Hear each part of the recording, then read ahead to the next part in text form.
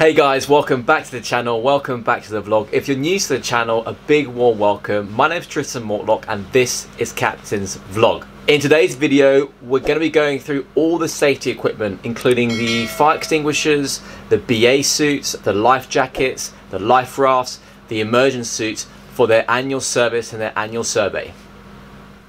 We're just going to open the box of flares up so you guys can see what we have inside. And so here we have our smokes. Now these do have um, a lifespan. So this one in particular is expiring in February 2020. We're now January 2020. The vessel is out of the water. Um, so when the surveyor comes, he is going to bring new smokes for us. And we have two of these, one and two. Then we have our parachute flares here. Now these expire in June 2020, if you can see that. So I know it's um, six months away from when this video is being recorded, uh, but uh, because we'll be having charters in June, it's our season, we'll be replacing all the parachute flares as well. And finally, we have the handheld flares, which also expire in February uh, 20. You can see that focus. You can see expires in February 2020 as well. Just get that focus there. There we go.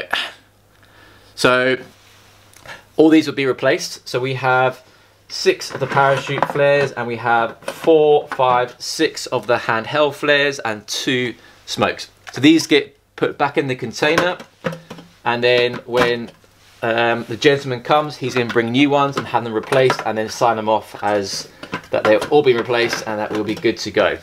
Also, what he's going to be doing, he's going to be checking all our inflatable uh, life jackets, which are these ones here. And so he'll be inspecting all of those. We have with AWOL and with the chase boat, like 30 life jackets on board, inflatable life jackets. And then finally, you can see behind me there, we've got the extinguishers, which uh, he's going to come and inspect as well. So we can collect everything together and um, all ready for him for his arrival. So it'll be all very easy. He'll test everything, make sure everything's in, in check, and then uh, go from there.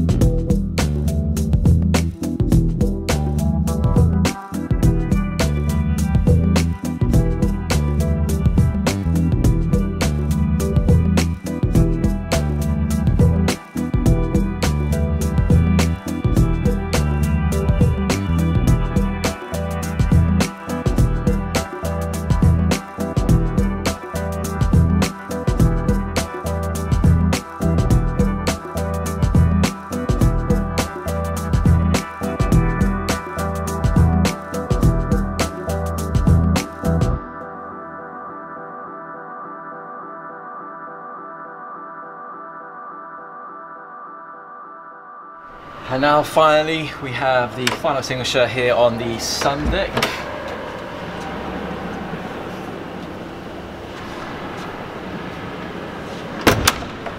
And there we have it.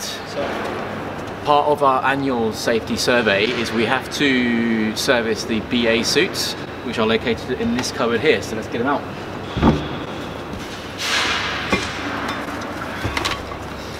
Basically, we have two BA kits with four bottles. So the, the compressed air, so we've got four of these. And they get also serviced um, every year. You can see on the tickets here, turn it upside down for you so you can see. So you can see that the last service here was January 2019. So now that we're January 2020, it needs to be serviced. Two. And in this bag here, we basically have the firefighting outfit. So the jacket, the pants, the boots, the gloves, the helmet, the mask. Um, this is all brand new pretty much. And uh, you might just want to check the regulator on the mask, but everything else uh, doesn't need to be serviced. We just have to check it once we do our monthly fire drills once we're back in the water. One extra canister. And then the second extra canister, that's total of four. And there we have it. And this is what the masks look like. There we have it, full face mask is on your face, connected to the uh, compressed air, and then you've got uh, clean air to breathe when you're in uh, areas full of smoke or potential fires. And then the rest of the kit he does need to check, and so he was put it back into the uh, BA cupboard.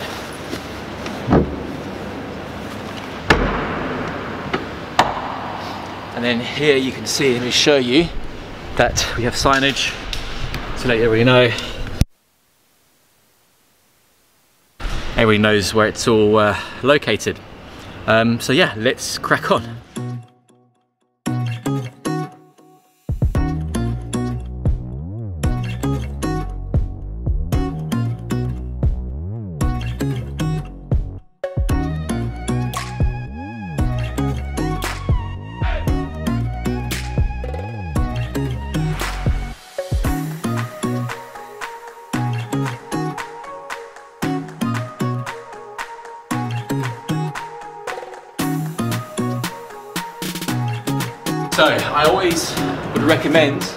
When you're storing the compressed air bottles there is that you line them down horizontally uh, because if they're standing up vertically and they fall over you never know, it could knock something activating and it can be very very dangerous.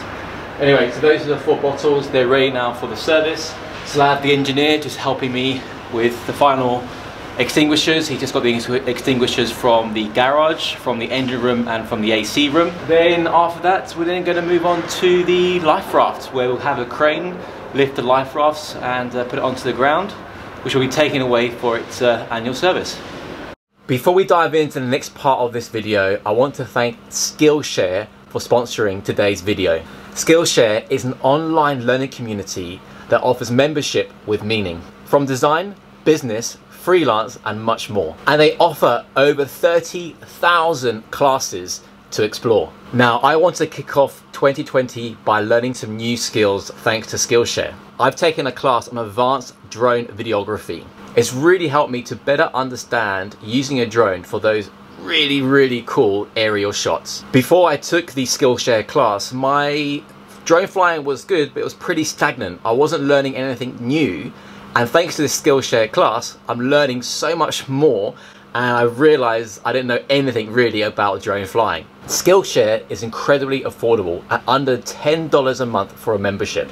And you won't have to take out a costly loan to learn. Right now, Skillshare is offering two months of membership completely free, but only when you click on my link in the description. Guys, you have nothing to lose. So sign up today to make 2020 the year you explore new skills and strengthen your passions with Skillshare. So basically we have two life rafts on the port side and two life rafts on the starboard side. I'm just to remove the cover, remove the pole which is holding it into place and have it ready so we can move it onto the sun deck aft.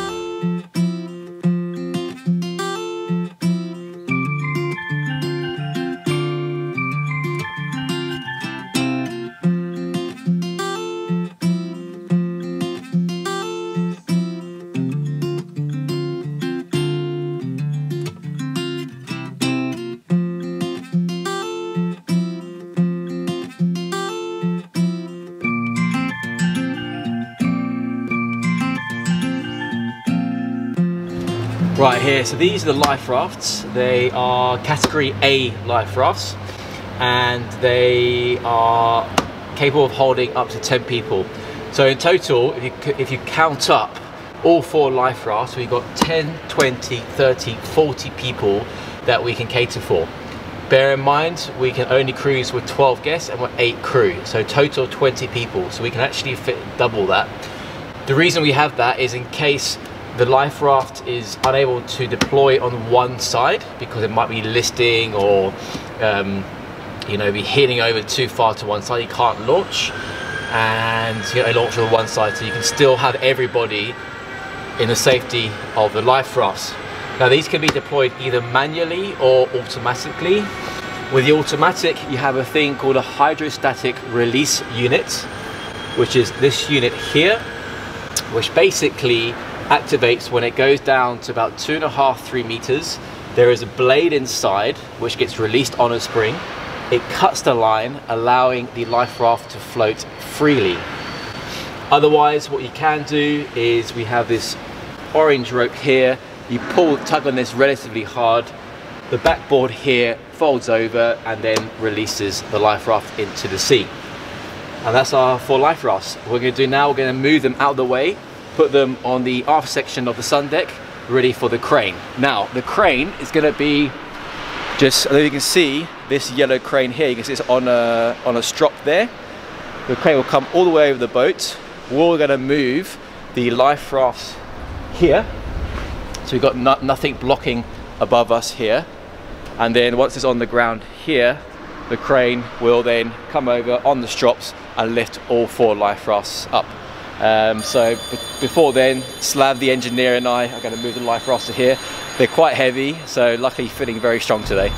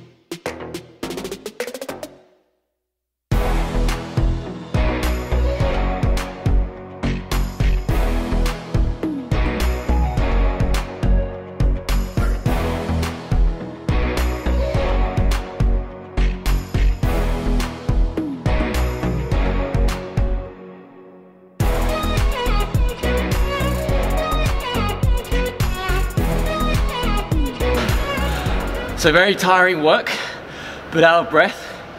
But that's the four life rafts ready for the crane driver to come either this afternoon or tomorrow morning.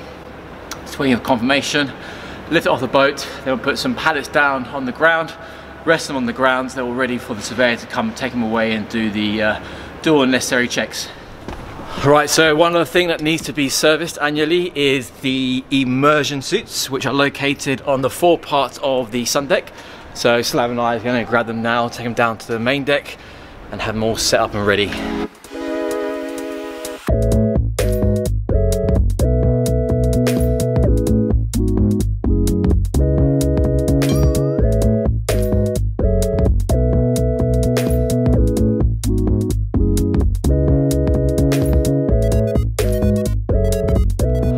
These here are all the immersion suits. So you put them on in case the captain orders the abandoned ship or I order abandoned ship.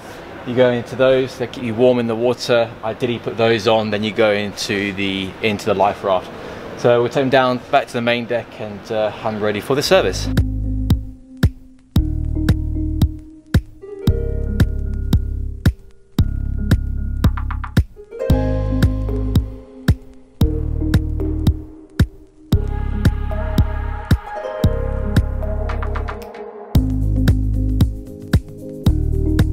If some of you are wondering where the rest of the crew are, at the moment there's just three of us on board. Slav, the chief engineer, Jiv, the chief stew, and myself, the captain. The other crew are either on leave or on holiday uh, because it's now, you know, it's, it's, winter. So this is the time of year when crew get their time off. And then they'll be back in, in the coming months, uh, back on board. And then start getting ready for the season.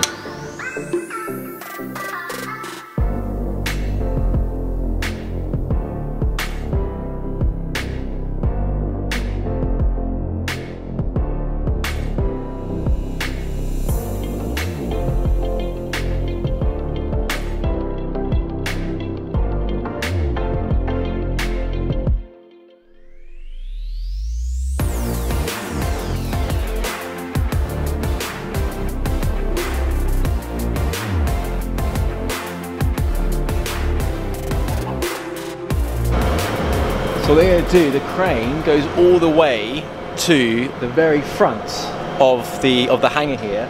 So bring it all the way to the end, drop it down. So then from the hangar to the car, it's a lot less of a distance. They're quite heavy to carry. So as you can see behind me, they are actually lifting two at a time, which will actually make the whole operation half the time. So the crane operator at the moment, he's just gone down to the ground. You can see what he's doing. Uh, I'm staying well clear because we don't want those things to land on, on your head because it'll be a little bit sore. quite interesting. It's actually really convenient because they've got one, two, three, four, five, you know, biggish boats here. So for any kind of crane operation, they can actually go from one end of the building all the way to the other end of the building. Um, you know, in case they might want to lift not just life raft, they could, you know, some people could be working on their satellite antennas, um, radar, you know, to remove the radar mast and things like that. So I think it's moving now, away it goes.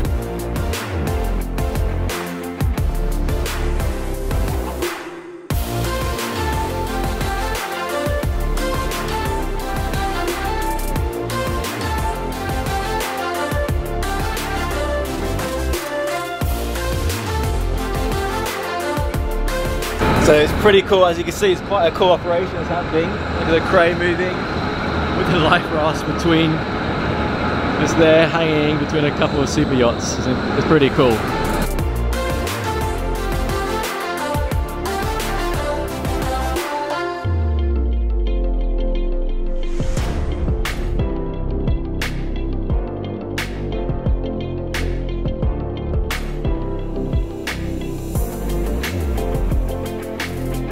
I would have done actually is I would have actually kept it high up and then move it along high up because then you've got less swing because the longer the line the more swing you have. So why then leave it high up? I'm not sure. Maybe you guys will know. Let me know in the comments box below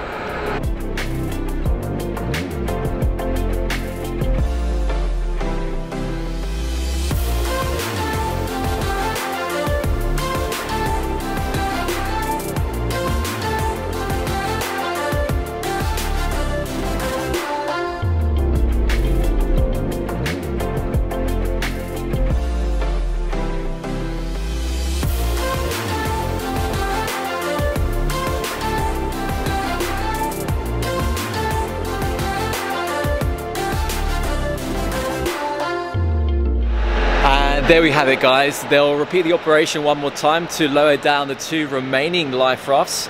Tomorrow the technician will come, send them to the service center. They'll have them serviced, signed and stamped, ready for another season. As always guys, I really do hope you enjoyed uh, today's video. If you like the video, don't forget to click that like button because it really, really does help us. Do consider subscribing to the channel. I look forward to seeing you all next video.